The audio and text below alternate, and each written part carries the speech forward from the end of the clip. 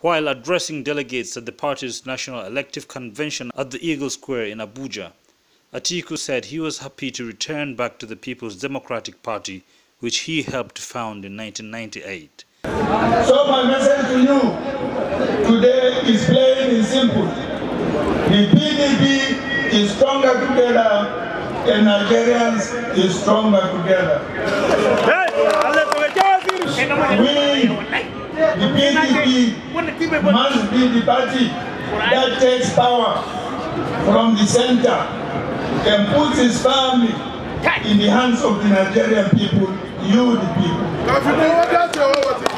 In his remarks, the Waziri Adamawa analyzed the achievements of the APC government vis-a-vis -vis the campaign promises made before the 2015 elections. The APC has lost us 3 million jobs a year. Our people are not working.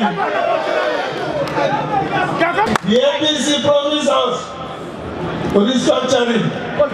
In office, the APC denied. The former vice president enjoined all party faithful to ensure that the PDP gets winning again so that Nigeria can get working again. We, the PDP,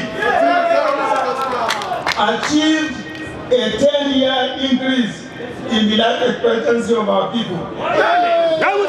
We, the PDP, enabled 99 million more of our people to have mobile phones.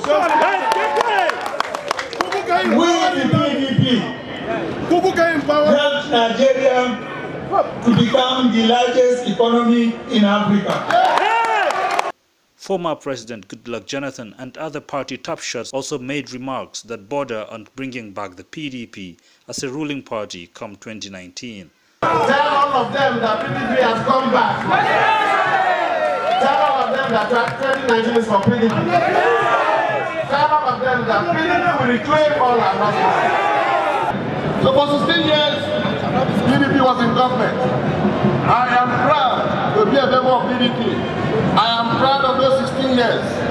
In 16 years, we saw a revolution in telecommunication in Nigeria. I can tell you that never in history has any country expected so much from one political party than Nigeria is expecting today from the People's Democratic Party. PDP! About 3,000 delegates, elected and statutory, are expected to vote to fill the positions of the national chairman and several other national offices of the PDP. From Abuja, Charles Duque, Gotel News.